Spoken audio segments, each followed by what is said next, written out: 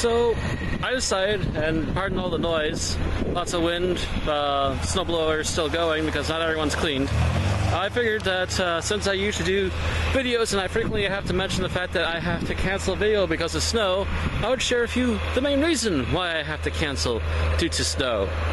Is this enough for you?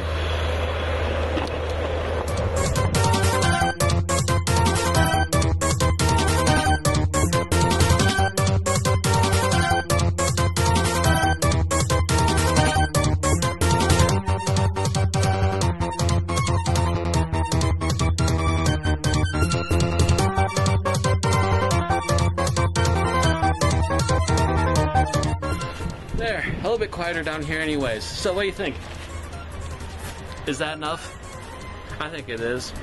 Uh, that's why the, I'm only going to be releasing this little short video.